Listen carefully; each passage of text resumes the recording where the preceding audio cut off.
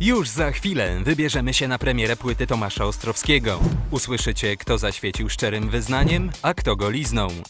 A o tym wszystkim opowie wam Norbert Afera.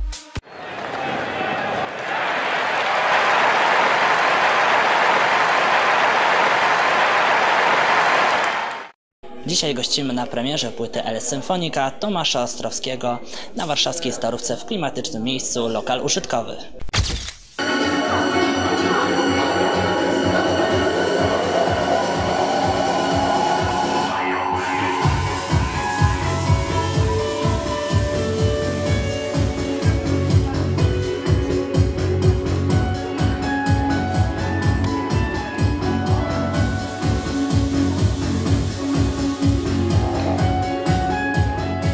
Witaj Tomaszu. Opowiedz nam może, co znajduje się konkretnie na płycie.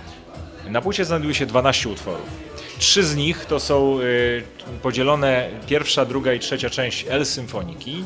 Myślę, że jest dużo elektroniki, że ta konfrontacja polega na tym, że jednak elektronika mm, wygrywa na, na tej płycie i, i, i krążek y, nie jest do końca y, taką, taką z, można powiedzieć, przekształceniem moich nurtów na, na symfoniczne, tylko zawiera w sobie jednak dużo takich brzmień syntetycznych, które ja kocham.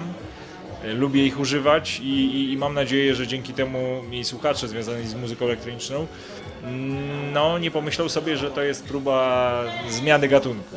W takim razie zapraszamy do kupna płyty Tomasza Ostrowskiego El Symfonika. Płyta dostępna w dobrych sklepach muzycznych oraz na stronie internetowej artysty. Adres strony to www.tomaszostrowski.com.pl dziękuję serdecznie.